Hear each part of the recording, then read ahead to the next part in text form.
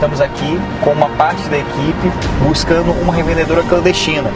O objetivo dessa operação, ao impedir a revenda clandestina de gás, ela gera mais segurança ao consumidor. Aqui em Rosário conseguimos encontrar essa revenda clandestina de gás e por essa razão estamos apreendendo todos esses produtos em conjunto com a Polícia Militar e Corpo de Bombeiros para que possamos também garantir um preço mais justo ao consumidor maranhense.